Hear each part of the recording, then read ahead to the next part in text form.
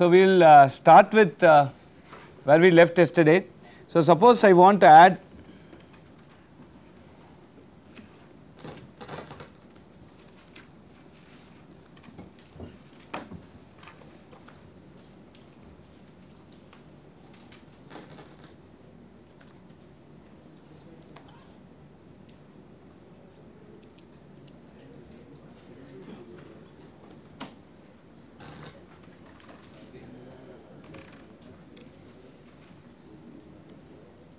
So, the sum bit here is 1, I am writing the carries, the carry that came from the previous stage is 0,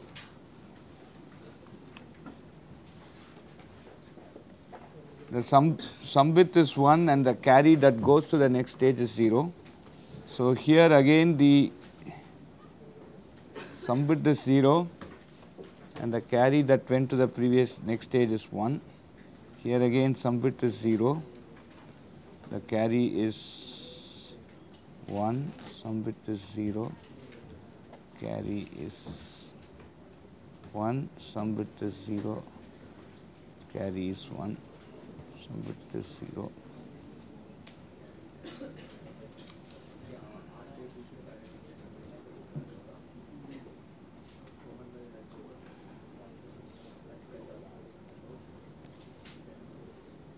So, this is the answer.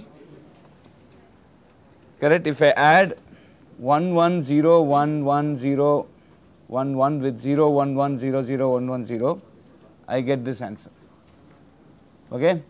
And these are all the carry bits. This is the carry in bit. This is a carry in bit that came from the previous stage. Okay. So, so so, let us write the carry bits. So, 0, 1, 2, 3, 4, 5, 6, 7, C0, C1, C2, C3, C4, C5, C6, C7. This is 0, this is 0, this is 1, the remaining all are ones. Okay. So, this is the carries. If I know the carry at the earliest and immediately I can compute the sum bit. Okay? Because your S0 is nothing but uh, sorry SI is nothing but AI exclusive or BI exclusive or CI minus 1 correct or CI in this case because we uh, our, in our terminology we say this is 0 this is C0 okay, and this is A naught A A1 and so on till A7 and this is B naught B1 to B7 okay. So, if I know CI I can get SI immediately. So, how quick we calculate CI is the important problem. If I am going to calculate CI very fast then I will be getting the sum bits. So, what happens in uh, the okay. So, what happens here is first let us see 1 0 means what? What is the status of? So, we first calculate the status of the carry, carries which is called as the x vector. Okay. So, we will calculate x 0, x 1, x 2, x 3, x 4, x 5, x 6, x 7.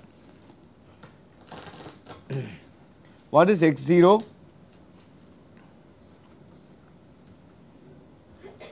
x 0 is uh, it starts with kill right this is kill because C 0 is 0. So, what is x 1? x 1 is propagate right 1 and 0. What is x 2?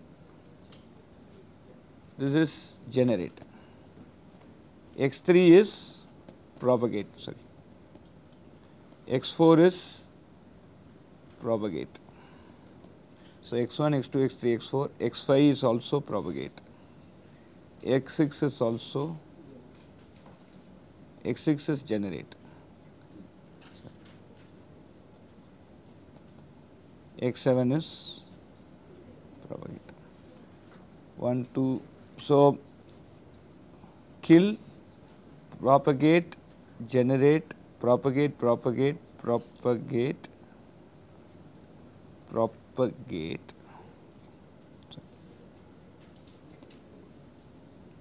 So, kill next is propagate, next is generate followed by 1, 2, 3, 4, 4 propagates.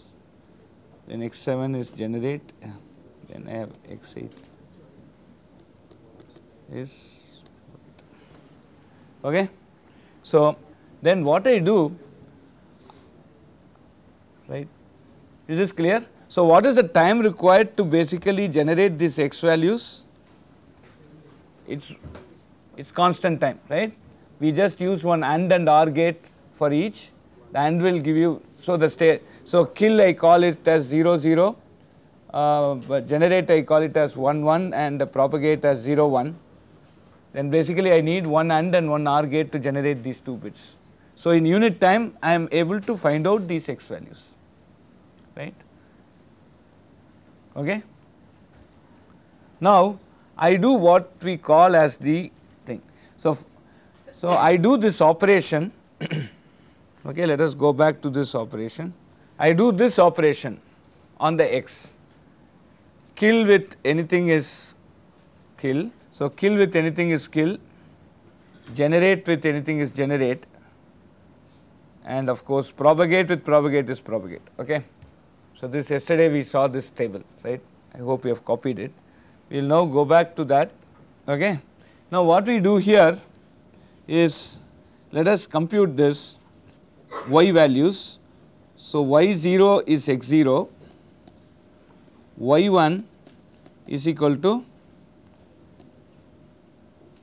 x 1 that star x 0, y 2 is nothing but x 2 star x 1 star x 0 and so on right. So, if we start doing this we will find that y 0 is kill, y 1 is propagate with kill right. So, this is kill right propagate star kill right. Now, x 2 is y 2 is generate with propagate with kill just look at here generate with propagate with kill. So, generate star propagate star kill will be generate right. Y 3 will be P with G with P with K. So, it will be G. Y 4 will be again P with P with G with P with K again it will be G. Y 5 will again be G, Y 6 will again be G, Y 7 is G, Y 8 is G. Correct? Are you able to follow? Is it, is it clear? And what have we done here? If I am seeing a kill, my contribution to the next stage is 0. If I see a G, my contribution to the next stage is 1. Immediately I can decide, it is independent of this. If it is a propagate, then I have to go back to your right hand side and I first if I encounter a G, then this is 1. If first I encounter a K, it is going to be 0, right. This is as simple as this and that is what this computation mimics, correct. Do you understand this? Now we see after doing this prefix computation, if I see a kill then it should be 0, the carry is 0. So, C0 is 0. If I see a kill, so C1 is what? 0, C2 is 1, 1, 1, 1, 1, 1, 0. Okay? Sorry, 1, 1, 1, 1. Okay? So, now you see that there is a 0, 0 followed by 6 ones 1, 2, 3, 4, 5, 6 and this is the last carry this is this okay you are able to follow yes So isn't the calculation of y sequential again? I am going to come to that okay right. Now, are you able to follow my procedure? You are able to follow the uh, procedure and you are able to ap- appreciate the correctness of this procedure.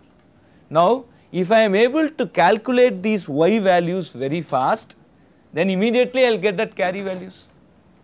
The moment I get the carry value, immediately I can generate the sum bits. So, my objective is the moment I get these x values, how will how quickly can I compute these y values? Okay. Now, what is this computation? This computation of y, what sort of computation it is? x0, x1 star x0, x2 star x1 star x0, first class. It is a prefix computation, correct? It is a prefix computation, right? The next thing is, please note that this star is an associative operator. It is a semi-group operator.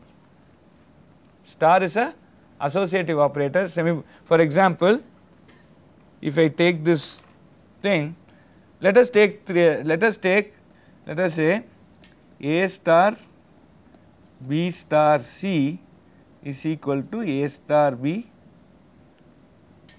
star C correct. Let us put arbitrary values for A, B and C just tell me some random values P, K, K okay. So, P star K star let us say G is equal to P star K star G. Now, what is P star K? P K star G? K star G is G. करके के star जी इस G P star ji is के K star O K star no we are doing it X J plus one which is okay anyway what B so K star K star G is K and P star K is whatever way you want. You want this, which should be your left operator and right operator. So, A star B means A is here and B is here, let us assume, right? Right? A star B means A is here and B is here. Hmm? So, if I want to do K star G, K is here and G is here, so K star G is K. And if I want to do P star K is going to be K. Now, P star K is K, P star K is K, K star G is K. Okay.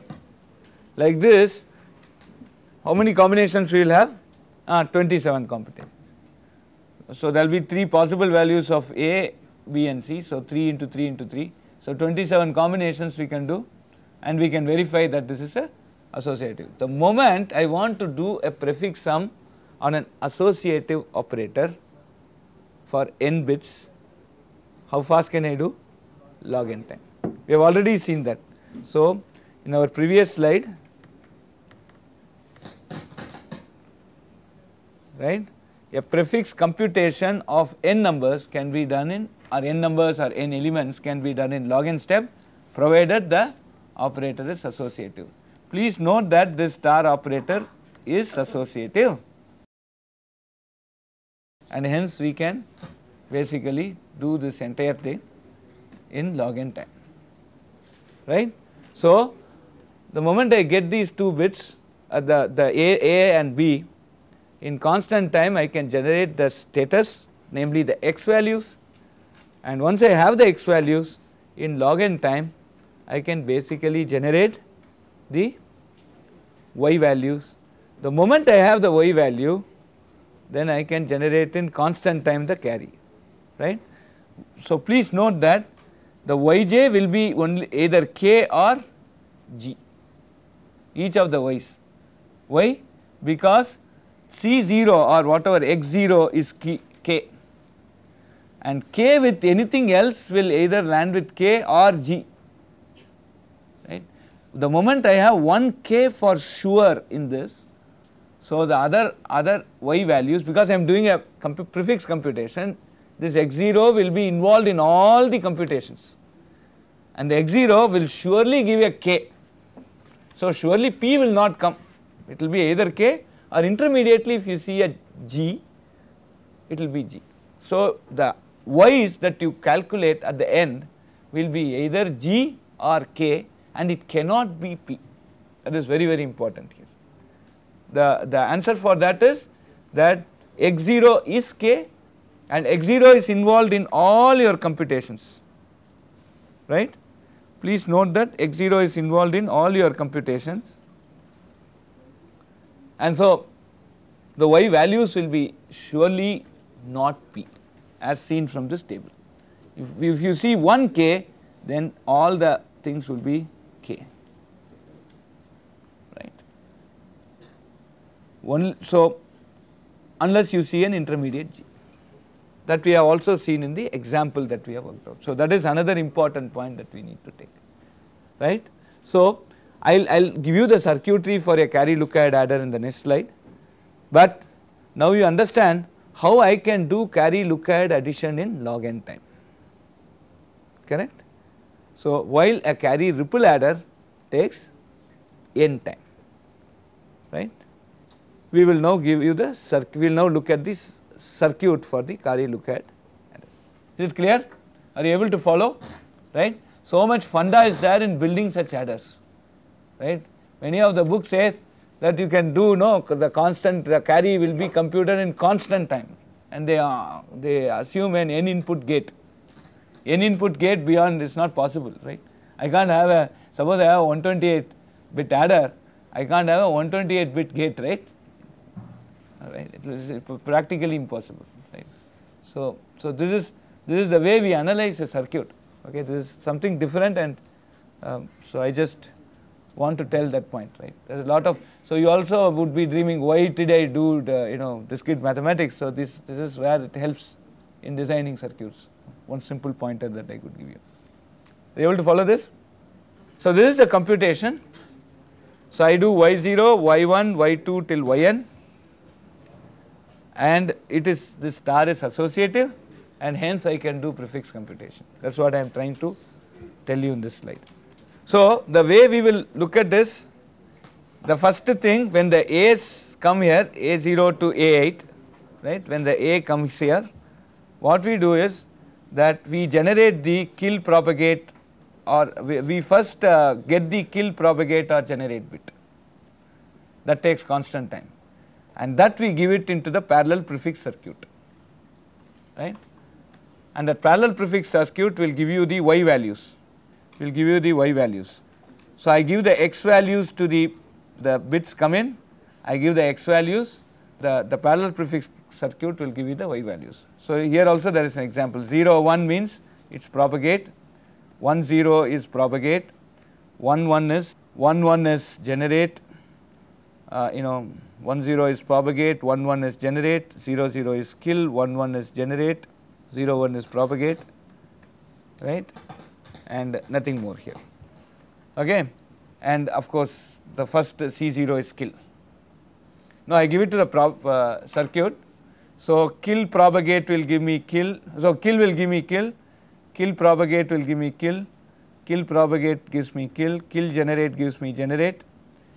Uh, generate uh, propagate will give me generate generate generate gives me generate generate kill gives me kill kill generate gives me generate generate propagate gives me generate.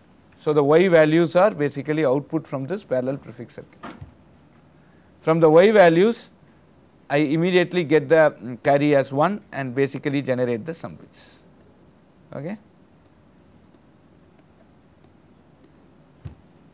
Immediately I could generate the sum bit. So, in this case I am getting uh, you know kill, kill as the carry right. So, y0 is kill, kill means the carry is 0 0 0 1 0 XOR 0 XOR 1 is 1. Here my carry is kill again 0 0 XOR 0 XOR 1 is 1. So, this is the sum bits as you see here. Now, here I am getting kill. So, 0 XOR 1 XOR 1 is 0. Here I am getting generate. So, 1 XOR 1 XOR 0 is 0. here I am getting generate 1 XOR 1 XOR 1 is 1. Here I am getting generate 1 XOR 0 XOR 0 is 1. I am getting kill 0 1 1 is 0. I am getting generate here. So 1 XOR 0 XOR 1 is 0. I am getting generate here 1 XOR 0 XOR XOR 1 right. So, so this entire stuff this part of the circuit takes constant time order 1 time that is constant time. This parallel prefix as we had seen earlier takes log n time because we have n processing units we will consider. So, so the total overall complexity of addition is going to be log n plus 1 or we can say some constant times log n. Okay? I think I have done it twice. I hope you for uh, you all uh, remember this. Okay? Now, let us go and construct the circuit for this. So, we use the recursive doubling technique that we saw in the class number 1 okay, because this star is a uh, is a associative operator. So, what we do here? So, we construct this entire unit right we, we, we do not. So, what each of this unit will do is that it will compute that star operation right. We can very quickly construct uh, you know a, a, um, a circuit for this truth table right. So, we can we can have uh, what would be the truth table here. So, I will have a truth table for um, xj plus 1 star xj right right. So, I can say uh, so a star b is uh, so there is 2 bits for that. So, I will have uh, b1 b naught uh, a1 a naught and uh, whatever the output c1 c naught let us A star b equal to C, then I can construct a circuit very quickly for this. So, kill means 0 0 0 0 0 0 kill star kill star kill should give me kill right 0 0 propagate star kill should give me kill. So, propagate is what 0 1 0 0 should give me 0 1 right. I have all the 16 combinations and the 2 out 16 combinations and the 2 outputs here. So, I can easily construct a circuit which will compute this star with a truth table right. I leave it as a very simple exercise it will, turn out to be a simple AND OR combination. Okay.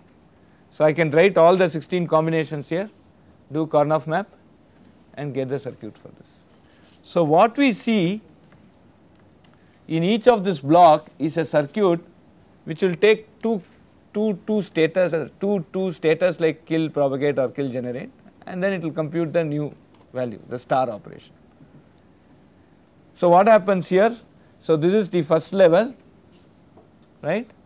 In the first level what we do in recursive doubling we compute with the nearest neighbors. So, propagate star kill will happen here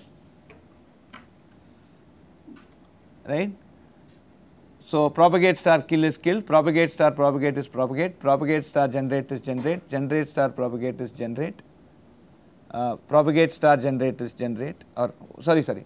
Uh, yeah correct. Um, and uh, generate star kill is kill, kill star generators generate. In the next stage I have to go 2 away right? Here I am 1 away I have to go 2 away.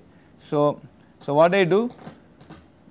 Kill star propagate is kill, kill star generate is generate, propagate star generate is generate, generate star generate is generate, generate star uh, then then generate star kill is kill and so on. And next time I am going 4 away. So, at the end I get this whole prefix computation right. In the case of the addition we saw we were reusing the same unit here again and again right. Still we will do it off in log n time, but I do not want to reuse this, I am replicating this unit for, so since I want to do an 8 bit addition, then at least I need 3 stages, log of 8 is 3, right.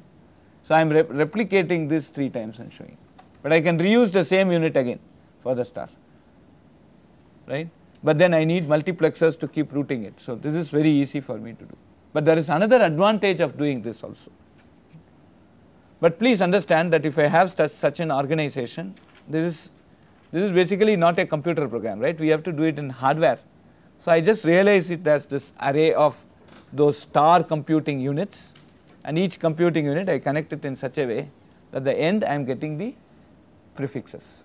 The moment I get these prefixes from this I know that the carry is 0 0 0 1 1 1 0 1 which I will again XOR with the respective sum bits uh, respective uh, input bits to get the sum bit. Is it okay? Right? So, the construction of this circuit essentially goes with the way we have described the recursive doubling in class number 1. Are you able to follow? Yes or no? Now, what is the advantage? See, in the case of the recursive doubling that we saw earlier, we were using the same unit, we were using the same unit again and again to compute the next stages, right. But now in this case, are you able to follow what I said just now? In this case, I am using the same unit, the same unit was used, yeah, this is a start, the same unit was used in step 1, the same units are used in step 2 and step 3 and so on. But in this case, I am not using the same units, I am just replicating the units. I have a lot of real estate in my chip, right. Today uh, a transistor size is, if I assume roughly a transistor is a square, the edge of the transistor is 14 nanometers, 14 into 10 power minus 9 meters. So, I could put billions of transistors. So, I do not mind putting some. So, what is the big advantage of this? Less processing. Less processing power. I am doing that processing. The big so, I have improved the area, I have increased the area corresponding to uh, you know a carry ripple adders. Please note that the area is now bloated up. Okay, and since the area is bloated up, that means I put more transistors. So, more transistors will be toggling 0 to 1 and 1 to 0. That means more power is also consumed. So, I have increased my power consumption. I have also increased my area consumption, but I am getting a good timing performance. I have decreased the execution time. But what is specific advantage of having something like this? So, suppose I want to add a 128 bit number, it takes 7 units of time here, right? 7 plus 1 unit, 7 plus 2, 9 units of time, correct? You get this? Now, what will happen here is that I can do something called pipelining. So, I am I am introducing pipelining at a very early stage, right? This is we will go we will do pipelining in the case of processors also CPUs. How are we going to do pipelining? We will go and discuss that as we proceed in this course. But please note that I have done a, I can do a pipelining. So what we see as this, uh, um, you know, this red, uh, this yellow, green and uh, pink, these are storage, these are all registers. Okay. So the first set of data will come and you calculate this first stage and you store the results. When the let us call this as stage 1, stage 2, stage 3 and stage 4. Okay. First set of data comes to stage 1, you compute that and store the results here. And you also take along with it your A's, A's and B's also you just keep propagating. So, this not only stores the result of this computation, right, understand, but it will also take along with it the A's and B's.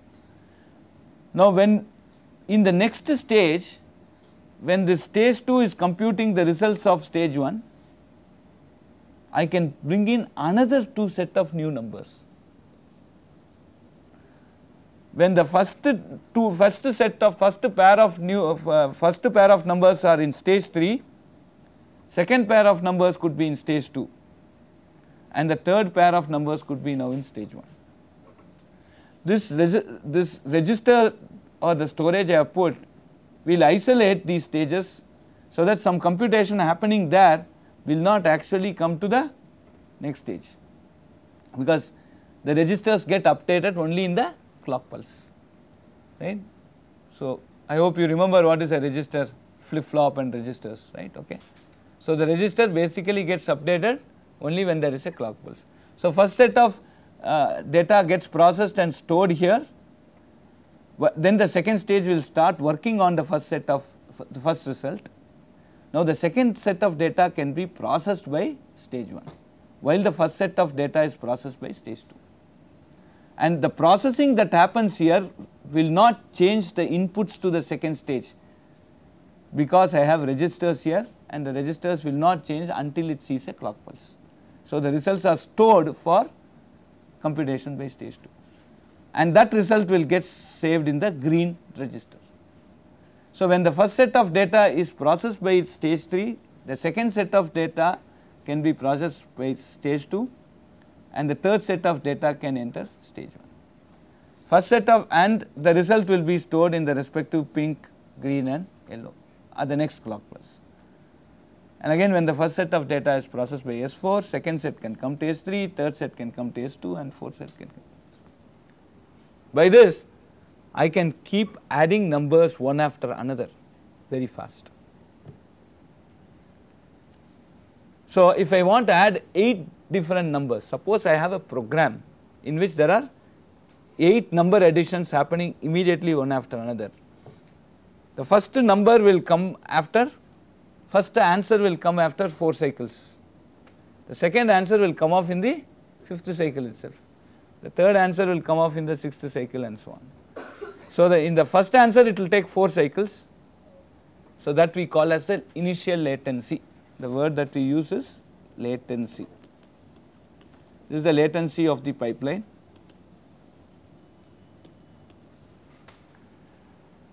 The second answer will come off immediately in the next cycle third answer will come off in the next cycle and fourth answer will come off in the next and so on right. So, what is the cycle duration? So, if I do not have these registers then one, the entire computation should happen in one cycle assume that each takes 1 unit of time the cycle duration would be 4.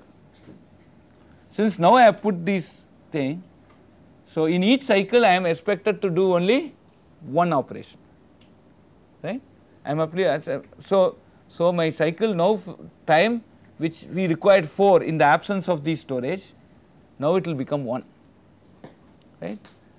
Correct? Are, are you able to follow? If I am going to do the entire operations in one cycle then the circuit depth here is 4 remember this is a good topological sorting here. I can remove the first stage second stage third stage and fourth stage. So the circuit depth will be 4 if I do not have the storage. Circuit depth is 4 means my cycle time would be 4. That means my frequency will be 1 by 4, 0.25 whatever.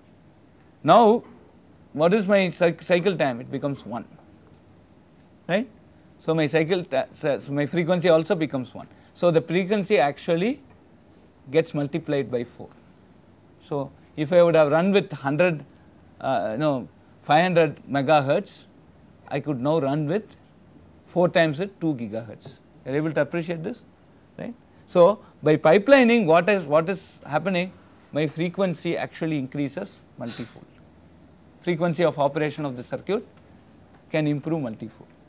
And what happens? I am not only working at 2 gigahertz, but at the end of every cycle I am going to give you one answer except for the first fellow.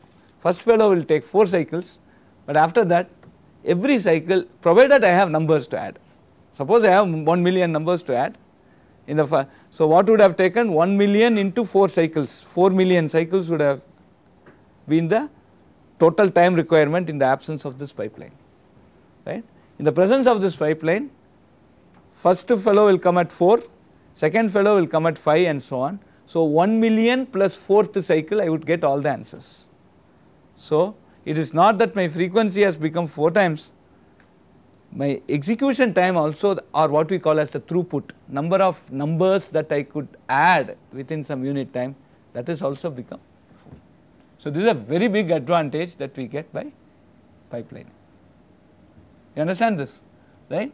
So, the basics of pipeline the, the, the intuition for pipelining comes because when I do not have these storage stages after this first stage finishes processing the data, it waits for the remaining 3 cycles right?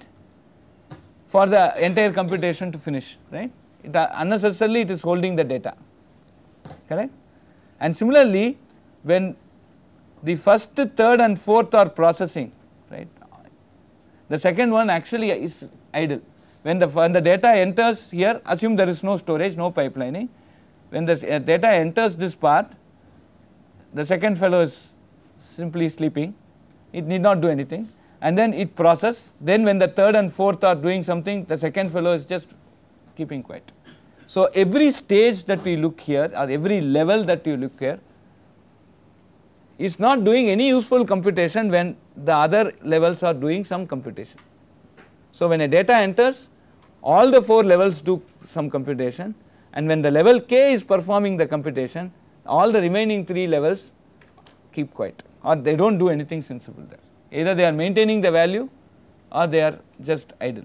So that is something so that is something we have exploited to see that we get this pipeline behavior. Fair enough? Did you follow? Any doubts? Okay.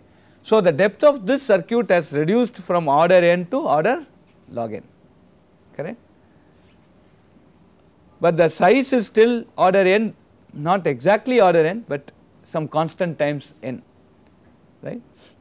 And this results actually in a very fast adder, okay? This results in a very, very fast adder, okay? Why is this, why is the circuit still order n? But see I am having log n stages, each have n, n hardware, so it should become n log n, right?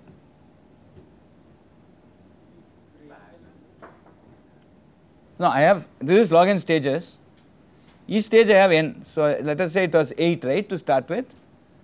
This is log n stages now. So it should be 8 into 3 right 24 units we have 32 units we have right. So it should be n log n in some sense. Average, ah? what do you mean average? I am realizing the circuit. So I go and say that the circuit is still order n and I am not wrong. Why? Can you just carefully look into this and tell me? So, in stage number 1 please note ah, somebody got the answer. See, what pipelining? effectively it becomes like only one layer at a time is being used by each No, no, but I am saying size of the hardware is n. I am going to put the transistors here, right? So please look at this slide, right? You have 24. Yeah,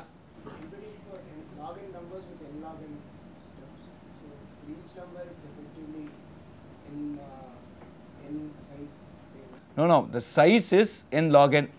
Do you appreciate this or not? I have log n stages, each I have put n fellows here. Yeah, tell me. There are some unused blocks. Exactly. So please, so here please see here that this block is not used at all. This is just a storage.